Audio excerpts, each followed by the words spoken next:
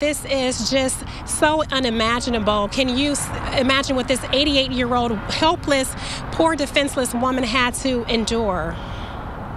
Uh, she, she was in a uh, terror filled situation for several hours uh, at gunpoint, forced to do unspeakable things. An horrific ordeal for an 88 year old Flint Township woman kidnapped and assaulted. This man, 40 year old David Latrell Griffin, is now facing a long list of charges in connection with the attack. Investigators say it began when Griffin broke into the woman's home in the area of Corona and Graham Streets. They say he assaulted the woman and stole a handgun she had in the home, then using that handgun to force her into her car and demanding she drive to several locations to obtain cash and a television. At some point, he forces her to write him a check in his own name for $2,000 that he actually takes to the bank and attempts to cash and gives a thumbprint.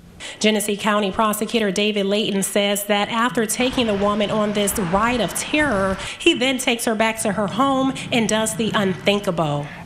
After this whole incident, they go back to her house where he sexually assaults her in a most perverted manner.